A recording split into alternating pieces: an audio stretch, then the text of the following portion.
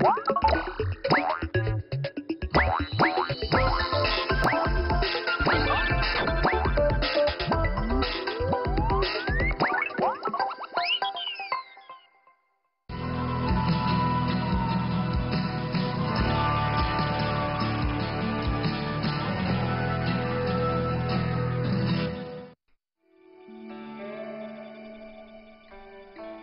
ville de Zogong, située dans le sud du Sichuan, est célèbre pour son sel.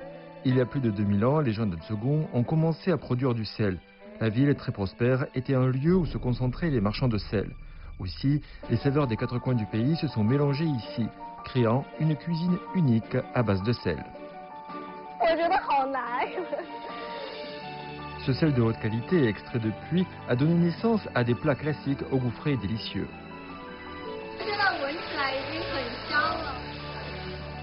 L'imprégnation du goût est une valeur culinaire universelle. Et c'est naturellement la valeur fondamentale des mets au sel de Zogong.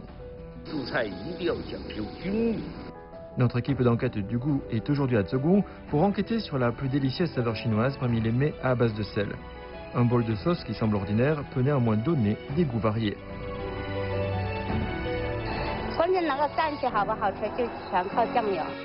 Un grand maître de la cuisine sichuanaise nous cuisine un poisson tohu à la pâte de soja fermentée, un mets dont la tradition s'était perdue. Le bœuf à la torche est aussi mince que du papier. Comment peut-on le marteler de la sorte? Il s'agit d'une exploration en profondeur de la cuisine, un voyage des plus savoureux. Notre équipe du goût vous fera goûter les meilleures saveurs de la cuisine à base de sel.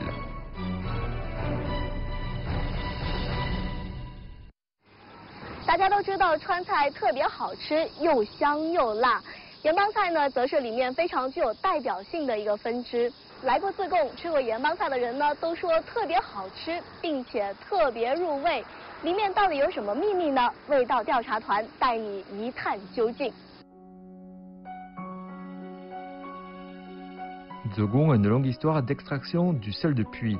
La prospérité de l'industrie du sel, plusieurs fois centenaire, a ainsi donné naissance à d'innombrables mets classiques, connus en Chine sous l'appellation de mets au sel. Le sel est l'âme de tous les goûts. Différente de la cuisine traditionnelle sichuanaise, caractérisée par les saveurs épicées, les mets au sel vont au-delà des goûts aigres, sucrés, amers ou pimentés. Une attention extrême est également portée à l'imprégnation des saveurs, une caractéristique qui apparaît non seulement dans les grands plats classiques, mais aussi dans les amuse-bouches ordinaires.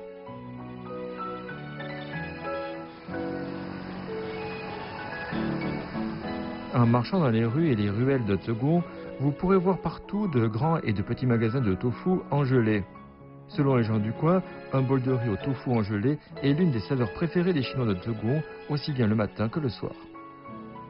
Les aînés vous diront aussi que le riz au tofu en gelée doit être un mélange harmonieux de texture et de goût entre le tofu en gelée, la sauce et le riz. Cela semble simple, mais il n'est pas facile d'atteindre la saveur idéale. Lei San et son épouse Zhang Qin sont les propriétaires de ce petit restaurant. Ils sont originaires du district de Fushun, réputé dans tout le pays justement pour son tofu en gelée. San nous explique qu'il est le quatrième héritier de ce savoir-faire. La clé du riz au tofu en gelée réside dans l'imprégnation mutuelle des goûts entre tofu en gelée et sauce.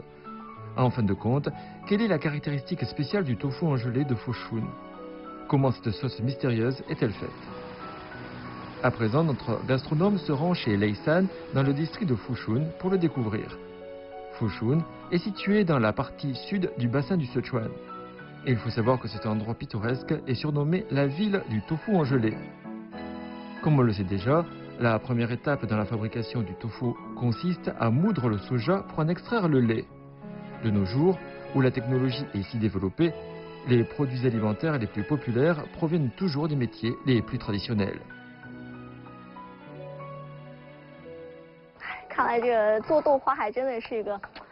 技术活，这是活，哎，传统工艺很，还是个默契活。哎，对。好，我想试一下。来，你试试。那大哥照顾我一下啊。没事儿。好，我放了，就。他在等着你。我觉得好难，还特别停下来给我放。哎，这样我我我尝尝试过这个放豆了，我就想尝一下这个。行。行。可以吗？我试一下。试一下。会很重吗？呃，很重。很重。嗯，我是个女汉子，我发现挺简单。哎，怎么卡住了？哎，我又动不了了。用点巧力就行了。Pour la plupart des jeunes qui n'ont jamais touché à une meule en pierre, apprendre le meulage du soja, c'est un peu comme la première fois qu'on monte à vélo. Ce travail qui peut sembler facile demande en fait beaucoup d'années de pratique pour être maîtrisé. 来来看一下咱们三个人的豆花最后的成品是怎么样？是绝对细嫩嘛。啊，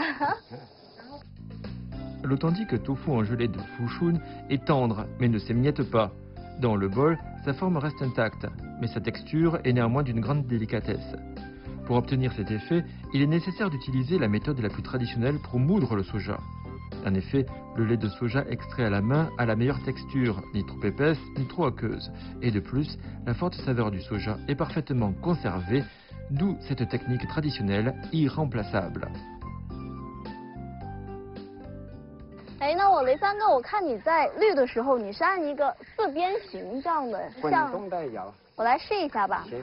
啊，你要这样先，我先这个角，然后在这个角，然后在这个角。为什么滚的这么慢呢？ Seul un tofu en gelée à la consistance ultra moelleuse permet d'imprégner les saveurs. Par conséquent, il est nécessaire de vérifier sa qualité à plusieurs reprises après chaque filtrage. Si le lait de soja n'est pas assez fluide, il faudra le filtrer à nouveau. Le lait de soja filtré est chauffé une seconde fois. Puis avec la saumure, voilà que le tofu commence à cailler. À présent, on sait donc que pour obtenir la finesse recherchée, le broyage à la meule et le filtrage à la main sont indispensables. Mais comment obtenir une texture qui ne s'émiette pas? 这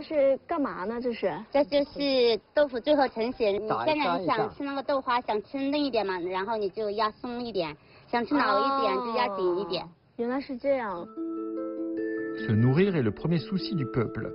Depuis des millénaires, les masses laborieuses ont créé de nombreuses techniques culinaires tout à fait étonnantes, comme par exemple ce que nous venons de voir avec le tofu en gelée.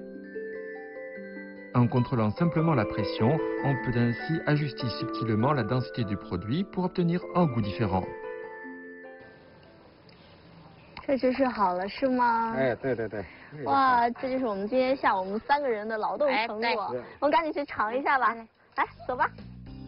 Le tofu en gelée est une spécialité très populaire dans les provinces du Yunnan, du Sichuan et du Guizhou. Le tofu en gelée a lui-même une saveur de soja et une texture délicate qui s'imprègne facilement des saveurs.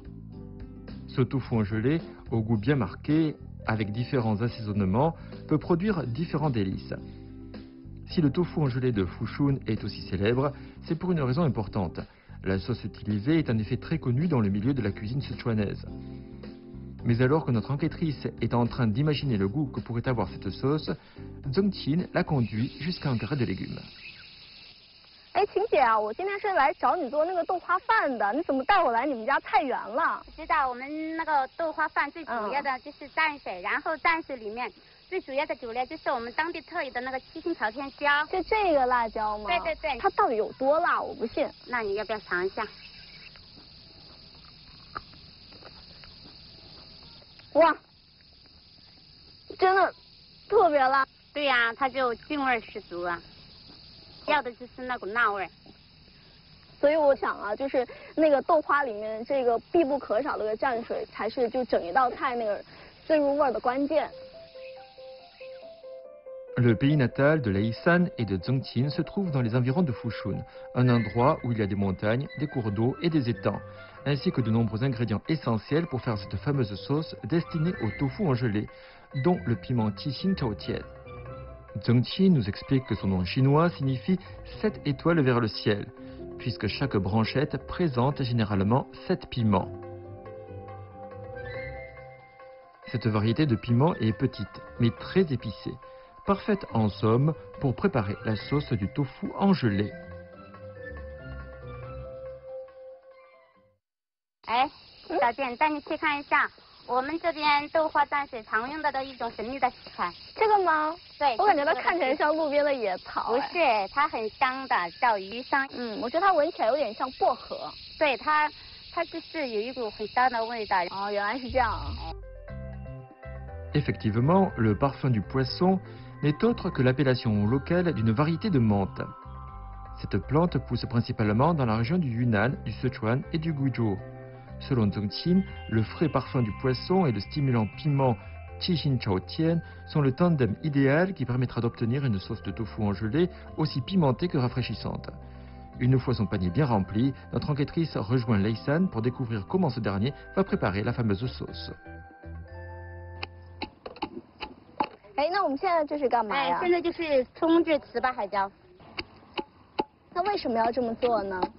因为这样这样做那个糍粑海椒看起来就舒服，色泽美观，然后吃起来。 Après les avoir fait tremper dans de l'eau chaude, on met les piments dans un mortier pour les concasser, ce qui donnera une pâte pimentée, grande spécialité du Sichuan. Ce produit a une viscosité élevée et est un ingrédient essentiel pour la fabrication de la sauce du tofu en gelée. Selon Zhongqin, en plus de la pâte pimentée, l'autre grand secret est une sauce de soja fabriquée avec plus de 30 plantes médicinales chinoises. Cependant, elle nous dit qu'il est inutile d'en demander la formule car Leisan ne l'a jamais dite à personne. Elle-même n'en saurait rien.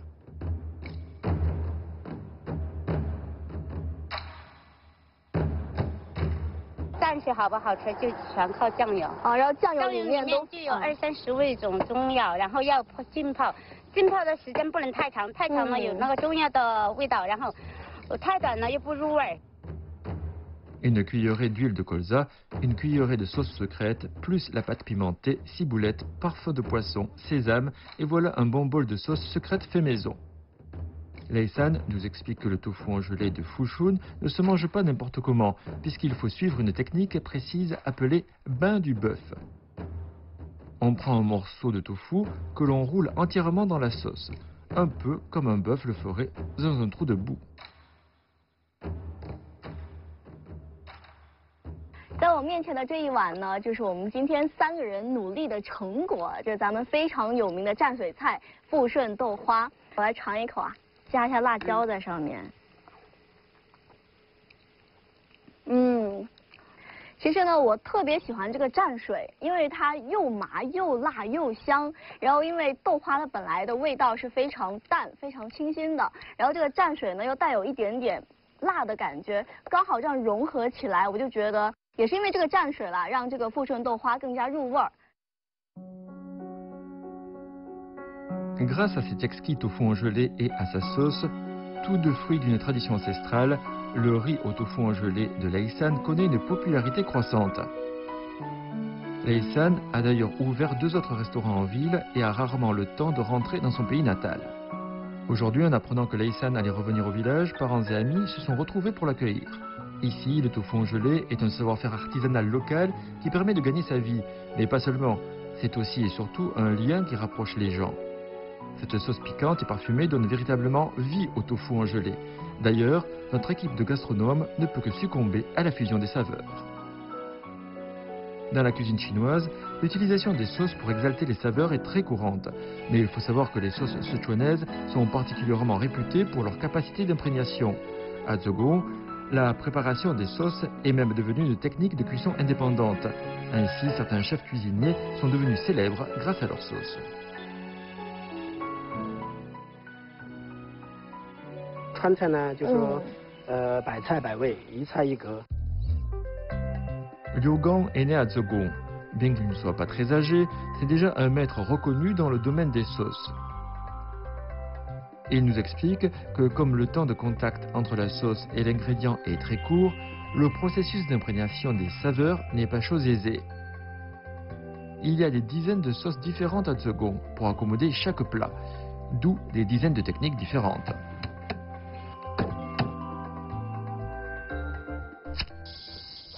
先把这先把调料炒香，对，炒炒香之后，我们再捣碎，捣哦再捣碎啊，对，哇，对师傅已经闻到香味了，应该炒的差不多了吧？对对对，就是这个辣椒炒干了之后呢，加点菜籽啊，使它更酥更香。对，哦，拿到那个对窝里面把它捣碎。Avec l'huile bouillante, l'arôme de piment est de nouveau expulsé, ce qui en fait un condiment utilisé dans la fabrication de sauces. L'huile de piment, une huile qui est en fait plus parfumée et plus grasse que la pâte pimentée, d'où une saveur des ingrédients encore plus marquée. Selon Liu Gang, Pour la préparation des sauces, on utilisera plus d'une dizaine de types de piments différents, avec une huile de piment qui constituera le fondement et l'essence de toutes les autres sauces. Ensuite, il faut les assortir avec les différents plats selon leurs propres caractéristiques. Par exemple, si on mélange de la viande blanche avec la peau, on l'accommodera de mélange fait de sauce soja et d'huile de piment. Pour manger du lapin à la peau ébouillantée, vous devez mélanger de l'huile rouge avec une sauce soja à la composition secrète, afin de souligner l'élasticité de cette viande. Pour manger les feuilles de patates douces, il faut combiner de la sauce à sucre brun avec de l'huile de piment pour enlever le goût terreux de ces légumes. Qui aurait pu croire à une telle profusion de sauce 今天吃了这么多蘸水菜，我认为有两点非常重要。第一点呢，它把调料本身的味道发挥到了极致；还有一点也很重要，就是它也非常尊重食材本身。蘸水的使用能够让食材本身的味道也凸显出来。La préparation d'une sauce fait penser à la conception des jardins par les artisans d'autrefois. Il faut à la fois prêter attention aux détails, mais aussi avoir une vision d'ensemble. La sauce procure alors une expérience gustative globale.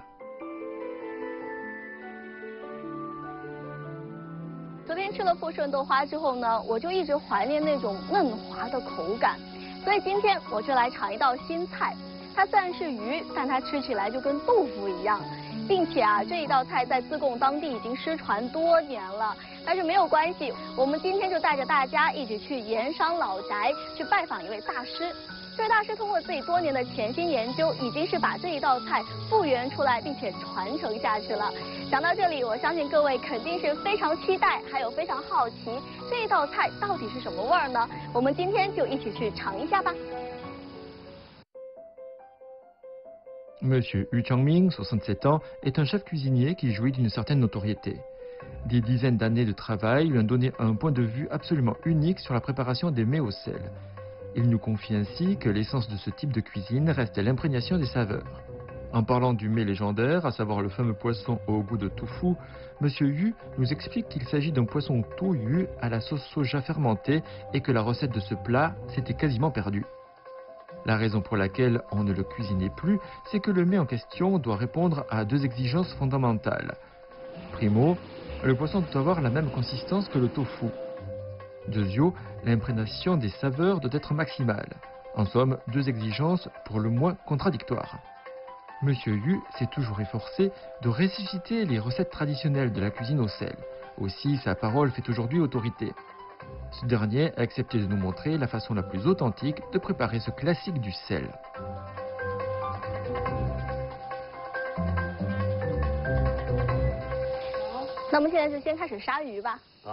这杀鱼啊，也有讲究。开始不是教你捉鱼吗？哦，这样是为了防止这个鱼跳。哦，跳不扎手，不划手。哦，不会把手割破。En fait, le tohu n'est pas le vrai nom de ce poisson. C'est en fait un nom générique désignant les poissons du Tujiang, le cours d'eau en question étant un affluent du fleuve Yangtze. Issu d'un grand nombre de sources, le Tujiang possède par conséquent d'abondantes ressources halieutiques. Monsieur Yu ajoute que dans ce plat de poisson à la sauce soja fermentée, la variété de poisson n'est pas fixe, mais qu'il y a un principe selon lequel le poisson utilisé doit peser plus de 2,5 kg. Un principe qui a bien sûr une relation étroite avec la préparation du plat.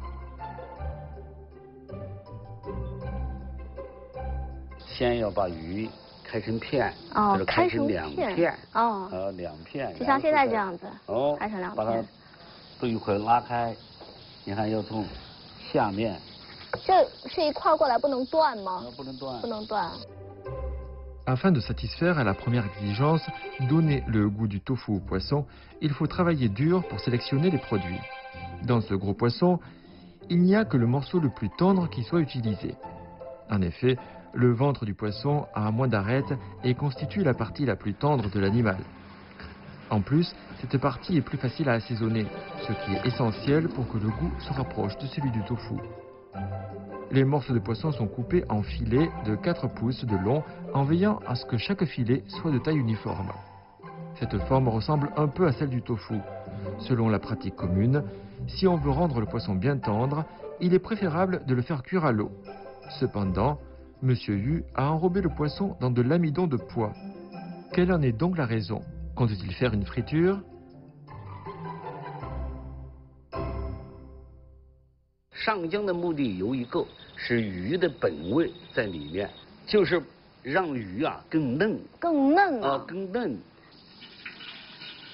Notre enquêtrice pensait juste. Voilà que nos filets de poisson sont frits dans l'huile. Selon M. Yu, le but est d'enfermer le goût frais du poisson et de fixer un peu la forme des filets. L'huile chaude enlèvera l'amidon de trop et rendra l'apparence des filets de poisson plus lisse et plus uniforme.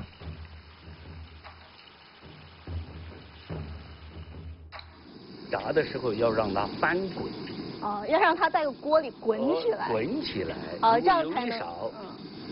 下面扎着了，上面没有被空气是吧侵袭过后，两面不均匀，所以做菜一定要讲究均匀。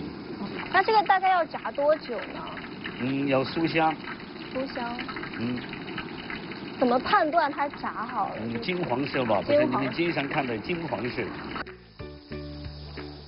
Les filets de poisson continuent à rouler dans l'huile chaude, dégageant peu à peu une forte odeur agréable et prenant une belle couleur dorée. 嗯，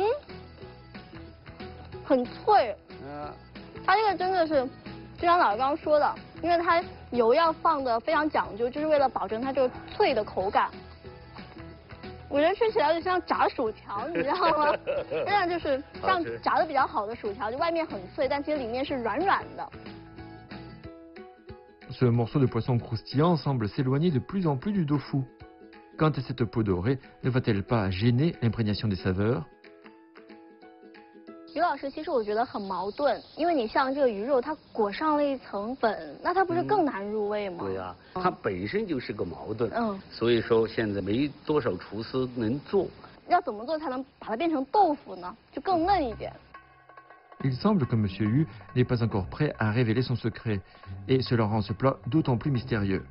M. Yu nous explique que pour de nombreux chefs inexpérimentés, le taux d'échec reste élevé. En fait, il faut rester très concentré pour éviter des erreurs.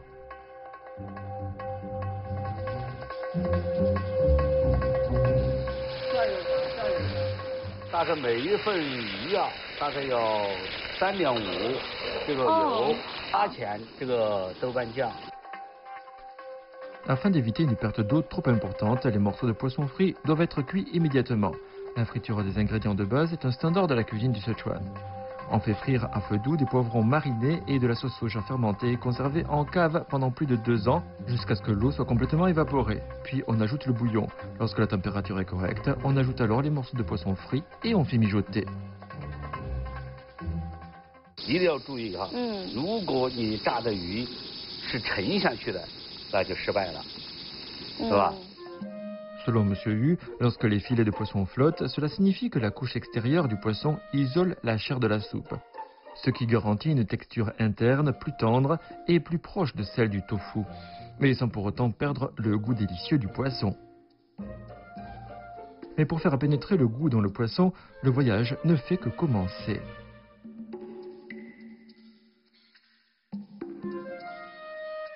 啊，这就叫度了，说的就是火的大小，再开一点就叫烧，烧的火啊是全开，堵其实是小眼儿，就说两三个泡儿，两三个泡，呃，我们称为度。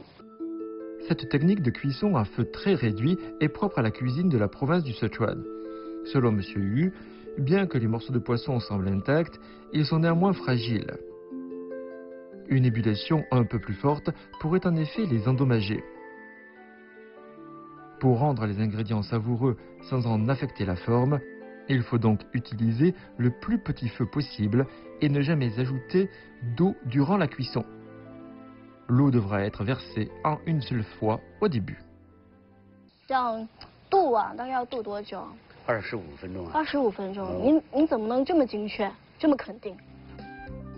Selon M. Yu, pour cuisiner ce plat, on doit faire preuve de vivacité. Tout au long de ces 25 minutes de cuisson, le cuisinier doit toujours se tenir devant son wok pour faire tourner avec la plus grande précaution des morceaux de poisson dans la soupe à l'aide de ses baguettes. Ce n'est que de cette manière que les ingrédients pourront être chauffés de façon tout à fait homogène. Alors que la soupe s'évapore et se concentre peu à peu, le poisson devient de plus en plus savoureux. Et voilà que la cuisson entre dans la dernière phase. Un peu de ciboulette et de vinaigre permettra de donner une saveur plus parfumée et plus fraîche. On ajoutera également du vin de riz, de l'ail et du gingembre, autant de condiments qui compléteront le goût final de l'ensemble.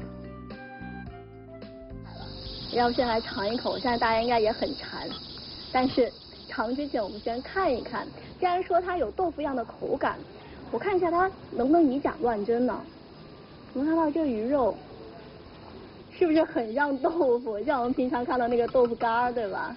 然后它哎很嫩，然后所以我一夹就断了。我再吃一口的时候呢，里面像豆腐一样的鱼肉呢，就会慢慢的渗出来，然后绵绵的，然后就逐渐消失在你的口腔里面。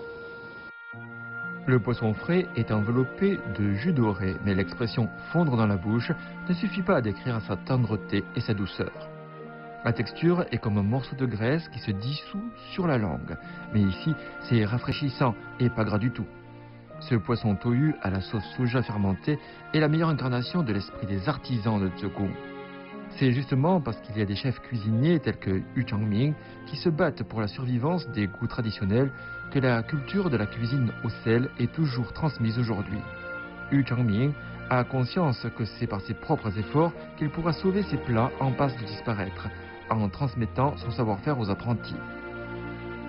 Seul ce type de transmission intergénérationnelle pourra sauver des saveurs ô combien précieuses.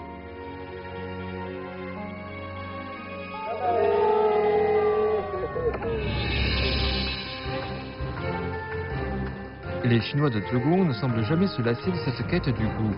Que ce soit des ingrédients ordinaires ou de qualité supérieure, ils peuvent utiliser une bonne dizaine de méthodes pour les préparer. Dans cette recherche du goût ultime, ces nombreux savoir-faire spectaculaires attirent les gourmands aux quatre coins de la ville.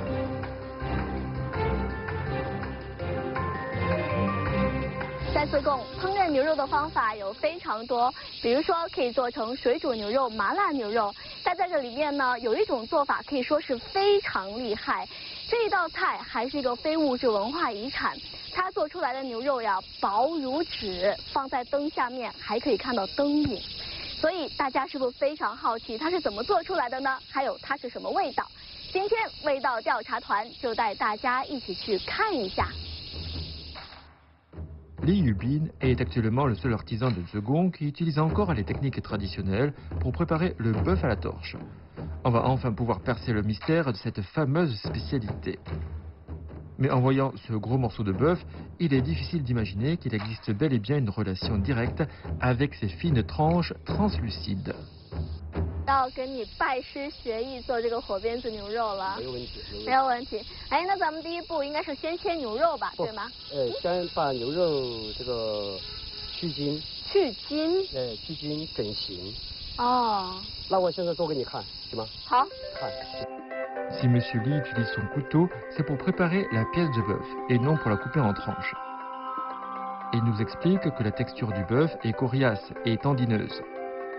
Sans prendre la précaution de retirer les tendons, il serait impossible de réaliser des tranches aussi fines. Sans compter que cela peut même affecter la saveur de la viande. Enlever les tendons est par conséquent une étape clé. Mais il ne s'agit pas de procéder à la légère. Il faut se débarrasser soigneusement de tous les vieux tendons et ne laisser que du muscle de bonne qualité. 个牛能做这个火鞭子牛肉的，对，就十多公斤。做火鞭牛肉吗？这做出来就是一款一整款，两三米长。哦，这两三米长，这么长。对对对。 La patte postérieure est l'une des parties les plus musclées du bovin. La texture est serrée, avec des fibres uniformes et sans gras. Par rapport aux autres parties, les pattes arrière sont moins faciles à assaisonner et sont donc généralement utilisées pour les ragoûts ou les plats consommés en sauce. Il faut plusieurs heures de cuisson pour faire pénétrer le goût. Mais comment faire pour préparer ces tranches de viande ultra fines et, de surcroît, très goûteuses? Mais alors que notre enquêtrice fait des hypothèses, voilà que M. Li sort un pot de saumure parfumé. Il nous explique que dans la cuisine de Zhegung, il ne suffit pas de servir des mets exquis, il faut aussi des saveurs très marquées. Ce pot de vieille saumure est utilisé depuis 10 ans. À chaque utilisation, M. Li ajoute du sel de puits, du sucre, de l'anis étoilé, ainsi qu'un mélange en poudre composé de plus de 30 plantes médicinales chinoises. Il n'y a plus alors qu'à y faire mariner la viande pendant 4 heures.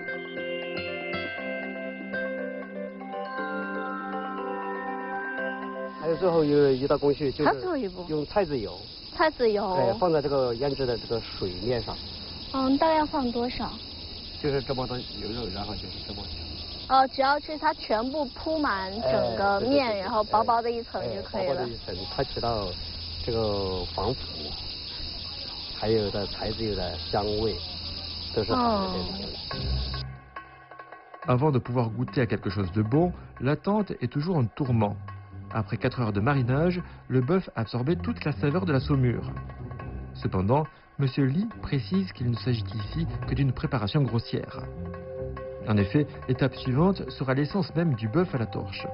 Et oui, il s'agit bien là d'un moment clé pour que les saveurs imprègnent véritablement la pièce de viande.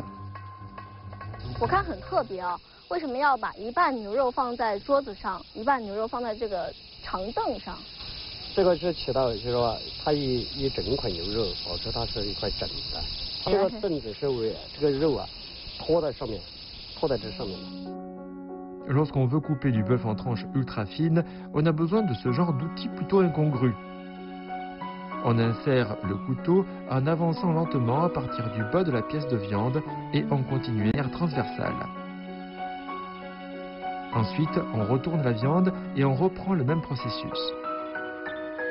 Et voilà que peu à peu se déploie lentement sur le banc Une tranche de viande aussi longue et aussi fine qu'un rouleau de peinture des temps jadis。下刀要平整，哦，手要稳，下刀要平整。也不能这样斜，也不能这样望。就跟刚去筋一样。哎，对，斜了它的肉就厚，不均匀。嗯。旺了就厚了，又薄了就断了。所以说这刀要平整，哎，然后这个过去了，然后又拉拉回来，好拉到这个这肉的尾部。这尾部？哎，尾部。然后你就别动了，别动了，哎，就别动了，它就，它就把它铺开，好，然后现在就把它翻面，翻面，哎，翻过来这样，翻过来，这样，哎，好，翻过来又铺多上去？又铺上，然后怎么切呢？从这里又骗过去嘛。哇，好难啊！哎，这个每一片的厚度大概是多少？大概就在零点一、零点五左右吧。Selon M. Li, les 4 heures de marinage ont pour but de parfumer et de rafraîchir la viande. Mais la découpe reste la clé véritable de sa saveur. 现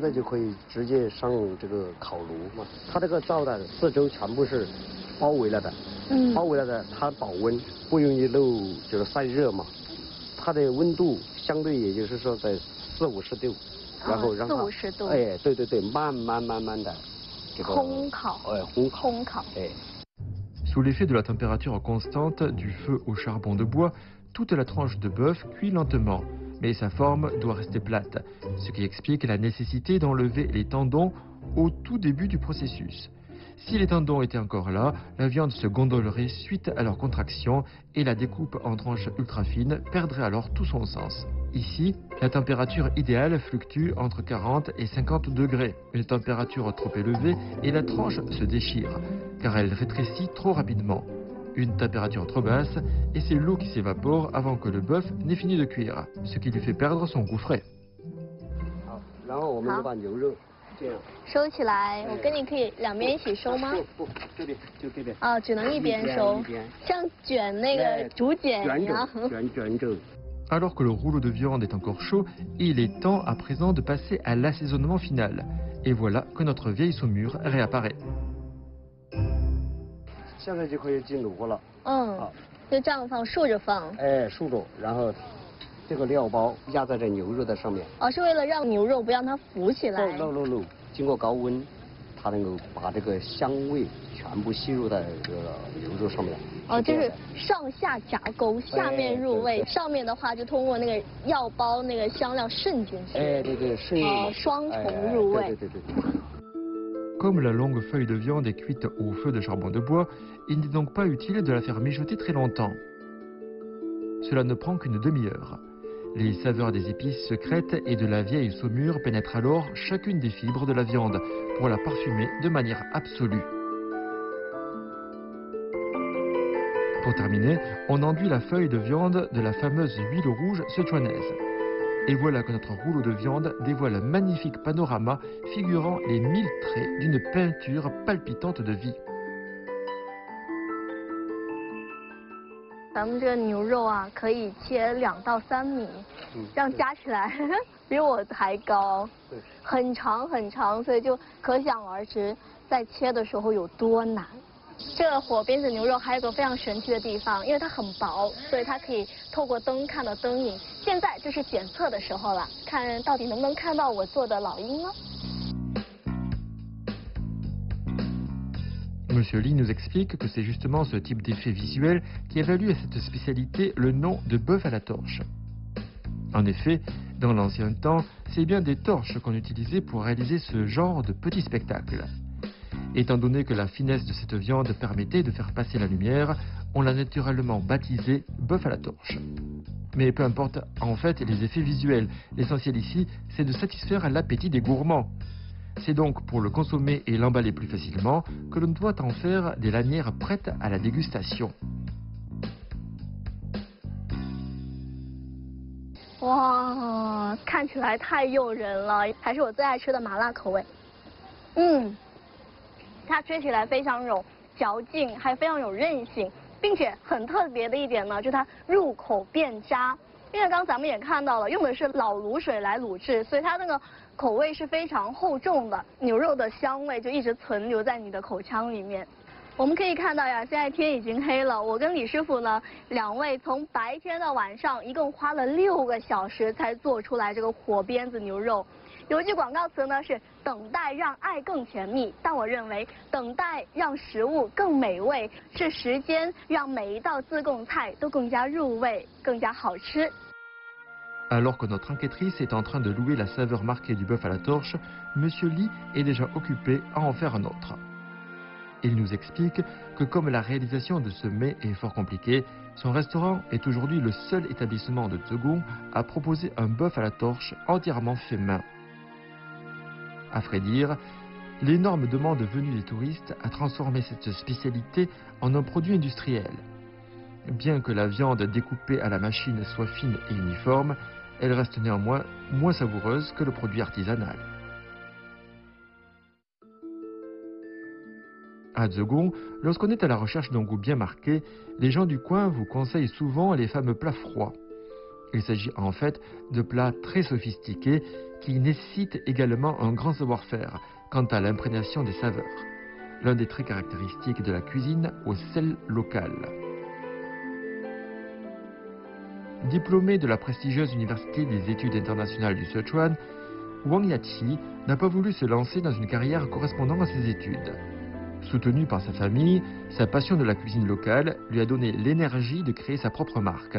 Et depuis lors, son entreprise familiale n'en finit pas de prospérer.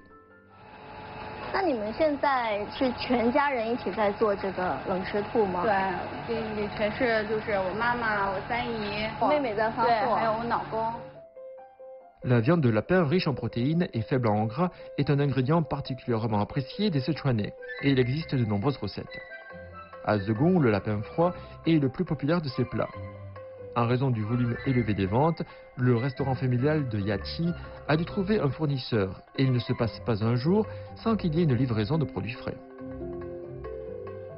De retour à la maison, Wang Yachi a de la visite. C'est un ami qui vient du Royaume-Uni et qui s'appelle Marc. Il est professeur dans une école de langue à Zhegung, mais il a aussi une autre casquette puisque c'est l'élève de Yachi. Mais qu'apprend-il auprès d'elle? La recette du lapin froid, bien sûr. Yachi told me that you can cook the rabbit. Absolutely. I don't believe it. One of my personal favorites out of it. Okay. Pour préparer l'authentique lapin froid de Zhegung, la viande doit être traitée trois fois afin de réussir totalement l'imprégnation des saveurs. L'assaisonnement est la toute première étape. On utilise du sel de puits local, du vin de cuisine, du sucre, du poivre, du gingembre ainsi que d'autres condiments ordinaires pour enlever les mauvaises odeurs et renforcer la fraîcheur. La texture de cette viande est très tendre et après un court marinage, on obtient déjà une saveur de base. En même temps, on prépare un autre condiment essentiel pour notre lapin froid.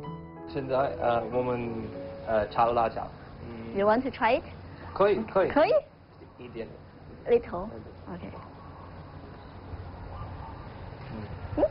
好吃。好吃，好吃。对对对对对。我觉得好辣，而且说。 Very hot, very hot. OK, put some oil. Add oil. 放油。放油，对对对。 Nos amis chinois sont surpris, mais Marc est vraiment un pro de la cuisine chinoise. Ce dernier nous explique que les cuisiniers occidentaux utilisent souvent un instrument spécial pour mesurer la température de l'huile, mais qu'en Chine, le problème est résolu grâce à deux tranches d'oignons. En effet, c'est lorsque l'oignon commence à roussir que l'on sait que la température de l'huile est correcte. On retire l'oignon et on ajoute du sésame et du poivre. À ce moment-là, les parfums du sésame et du poivre commencent à embaumer à la ronde tout en se mêlant au parfum d'oignon frit. Dans ce processus, ce qui paraît tout à fait original, c'est le fait d'ajouter de temps en temps de l'huile froide pour faire baisser la température, et ce, pour ne pas brûler le sésame et le piment.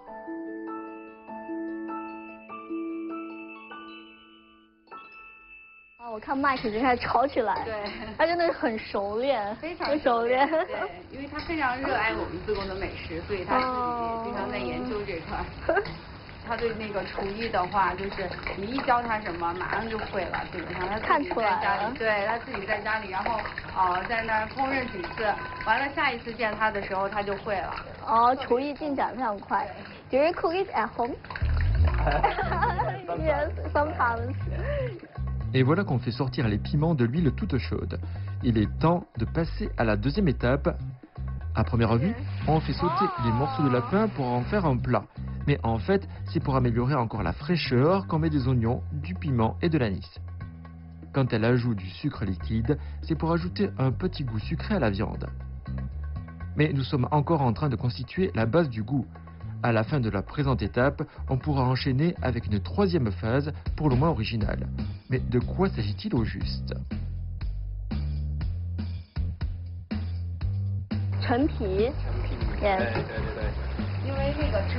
对对对。因为那个吃兔子以前在我们这边也叫陈皮，哦啊，陈皮的话它也有这个就是真菌止渴的作用，然后它的那个味道特别就很特别，有一种香味儿。 Au bout de 40 minutes de cuisson, la viande a perdu toute son eau. En fait, on pourrait d'ores et déjà la manger. Cependant, la saveur unique du lapin froid n'est pas encore à portée de main. Après la cuisson, il faudra ajouter du poivre en poudre et du vinaigre et laisser mariner la viande à température ambiante pendant pas moins de 12 heures afin qu'elle refroidisse lentement. Et voilà enfin un joli wok de lapin froid. 二班的嗯，beautiful，怎么样？好吃。啊，好吃啊！我也尝一个。嗯， 我也觉得很好吃，因为。嗯，它热的时候跟冷的时候口感不一样，热的时候它更甜，然后那个陈皮的味道会更加充斥在那个兔肉里面，很棒。Good teacher, 啊谢谢 thank 你啊谢谢 you. L'imprégnation ultime rend le goût très riche, et avec en plus la tendreté de la viande de lapin. Chaque dégustation est un véritable étonnement. Pour Marc, le lapin froid lui a permis de comprendre l'essence de la cuisine chinoise. Et c'est d'ailleurs une expérience qui mériterait d'être partagée aux quatre coins du monde. Pour Wang Yachi, la gastronomie lui a permis d'être très entouré par ses amis, sa famille et surtout son mari.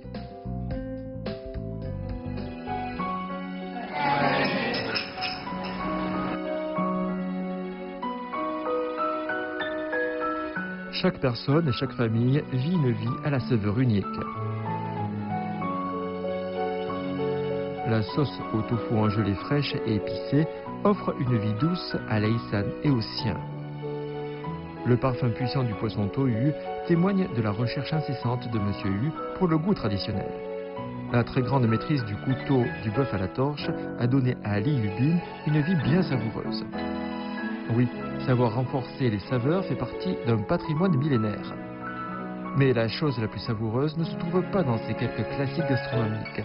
Elle se cache peut-être dans chacun de ces moments si riches en émotions.